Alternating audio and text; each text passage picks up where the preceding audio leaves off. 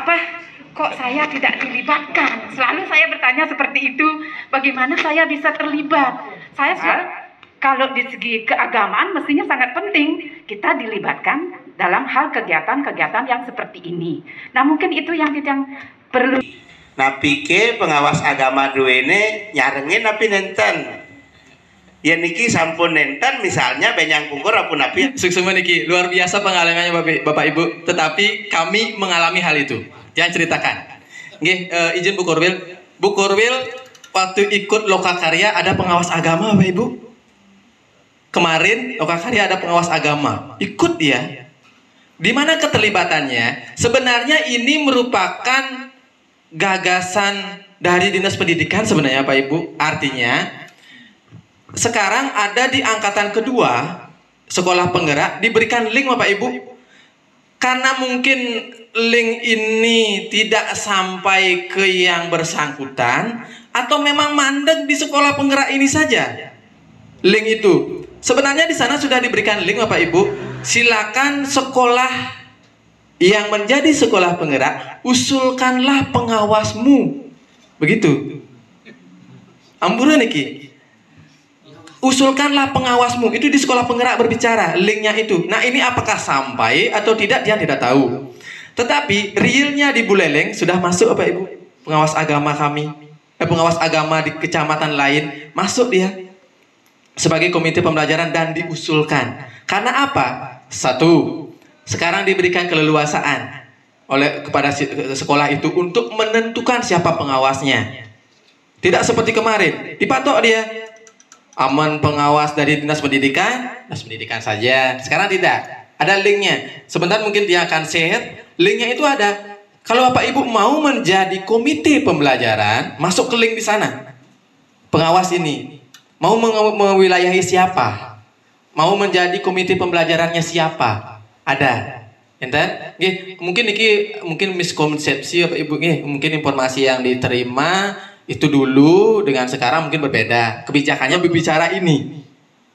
Nggih, karena kalau kita berbicara real di lapangan, itu kami rajanya. Yang orang muridnya dua belum kami rajanya. Tetapi ketika yang mengawasi yang tidak ada yang memonitoring kami, jelas kami tidak akan sesuai dengan rule berjalannya. Sehingga peran pengawas di komite pembelajaran luar biasa baik. Dia sekarang mewilayahi dua sekolah.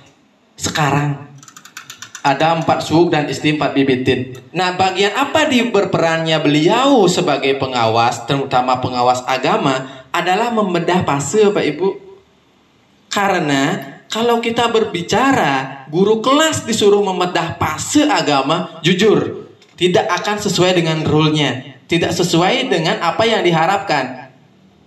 Karena kemampuan kami terhadap agama itu jelas berbeda dengan guru agama kami. Makanya kemarin dengan ibu ya, ketika diberikan masukan kami tidak bisa bicara. Oh seperti itu ya, seperti itu. Jadinya dia menerima informasi, oh ternyata di fase agama harus begini pemecahannya.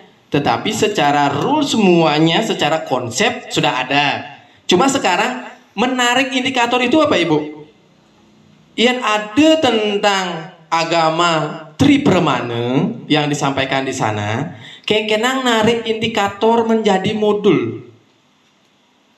Itu, itu kesulitan. Makanya itulah peran pengawas agama sebenarnya. Masuk di sana pembedahan fase fase A di kelas 1, fase B di kelas 4. Itu peranan utamanya. Nih, jangan dibicarakan bahwa pengawas tidak uh, tidak ada uh, peranannya. Pengawas di sana. Kemudian bagaimana memonitoring? Artinya kalau kita berbicara di Kemdikbud, dia akan bahasa sekupnya nasional Bapak Ibu. Dia tidak akan melihat di bawah. Si tebu ini raga apa gaya di beten.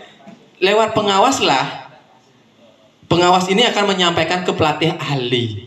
Pelatih ahli ini akan melakukan konfirmasi ke, ke Kemdikbud apa keuangan sekolah ini. Itu luar biasanya sekarang kurikulum merdeka. Makanya difasilitasi rekanan buku kurikulum merdeka sing tadi ngawang-ngawang gini Bapak Ibu. Sini, sini tidak. Satu pemenang tender secara pusat itu saja sing tadi len-lenan Enten? Itu yang luar biasanya di kurikulum ini. Sehingga di sanalah peran pengawas memberikan informasi yang ada di sekolah melalui pelatih ahli akan disampaikan ke Kemdikbud pusat. Nggih, itu peranan eh, pengawas agama. Kemudian tadi apa kira-kira? Iya, respon